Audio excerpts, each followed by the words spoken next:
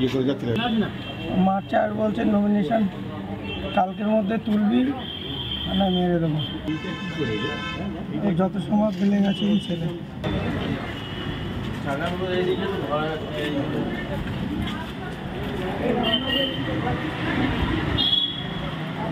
ওর বাইকটা তো সেই ভিডিওতে আছে।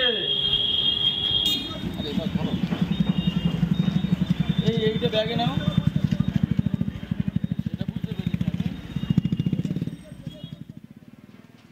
মনোনয়নপত্র জমা করা প্রার্থীর পদ প্রত্যাহার করতে চাপ। আর তা না করার জন্য এবার এক বিজেপি প্রার্থীর স্বামীকে মারধর করার অভিযোগ উঠল তৃণমূল আশ্রিত দুষ্কৃতীদের বিরুদ্ধে। প্রথমে মনোনয়নপত্র জমা দিতে বাধা দিয়েছিল তৃণমূল। আর যারা দিয়েছে তাদের এবার ভোটে নাকি লড়তে দেবে না রাজ্যের শাসক দল। তাহলে ভোটটা করার দরকার কি? ভোটের নামে রাজ্যে প্রহসন চলছে। তাহলে তারা পারলে নিজেরাই বলে দিক যে তারা জিতে গেছে। সরকারি কোষাগার থেকে এত টাকা খরচ করার কি সত্যিই কোনো দরকার আছে? আর এই ঘটনায় রাজ্যের শাসক দলকেই কার্যত কাঠ গড়ায় তুলেছে বিরোধীরা।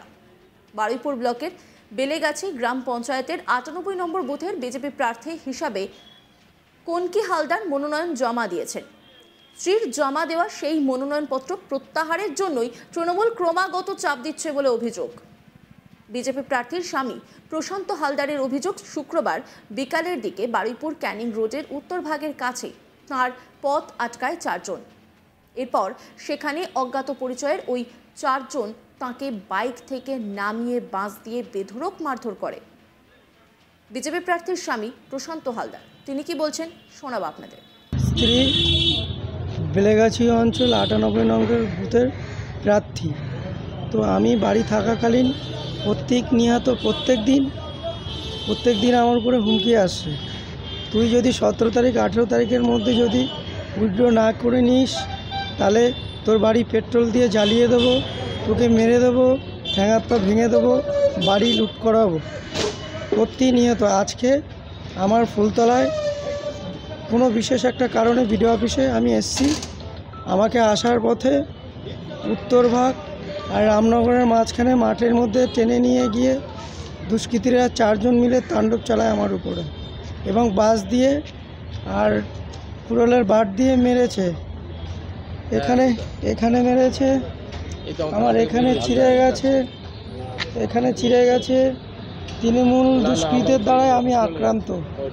আমাকে মারছে আর বলছে, দেবাশিস গাইন, তোর বাবা তোকে বাঁচাবে?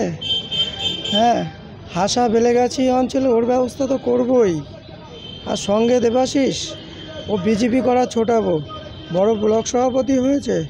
এই অবধি বলে ওখানে পুরো রাস্তা ফাঁকা, মাঠের মধ্যে আমি চিৎকার করছি বাঁচায় বাঁচায় বলে আমাকে দুজন এসে আমাকে ওখান থেকে উদ্ধার করে বিডিও অফিসের সামনে আমার গাড়ি নিয়ে এসে আমাকে ছেড়ে দেয়। আমি কোনো মতে গিয়ে বিডিও অফিসের সামনে গিয়ে দাঁড়াই।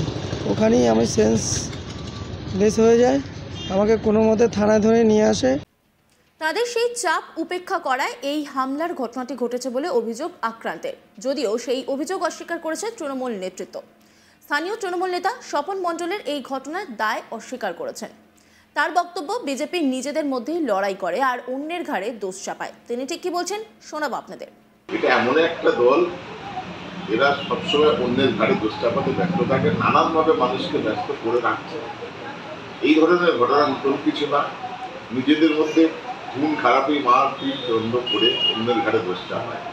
আপনারা নিশ্চিতভাবে দেখেছেন বাড়িপুর বিডিও অফিসে নমিনেশনের দিন ওরা তিন চার দিন সময় পেয়েছে, কিন্তু আমরা যেদিন নমিনেশন দিয়েছিলাম, ওরাও এসেছিল নমিনেশন দিতে। কোনো রকমভাবে কোনো বাধা সৃষ্টি কখনো কেউ করেনি আমাদের দলের কর্মীরা। আক্রান্ত বিজেপি প্রার্থী স্বামীর চিৎকার শুনে স্থানীয় দুই ব্যক্তি তাকে উদ্ধার করে নিয়ে যান বারুইপুরের বিডিও অফিসের মাঠে। খবর পেয়ে দলের কর্মীরা আহত প্রশান্ত হালদারকে উদ্ধার করে চিকিৎসার জন্য নিয়ে যান বারুইপুর মহকুমা হাসপাতালে। ঘটনার ইতিমধ্যেই থানায় অভিযোগ জানিয়েছে বিজেপি।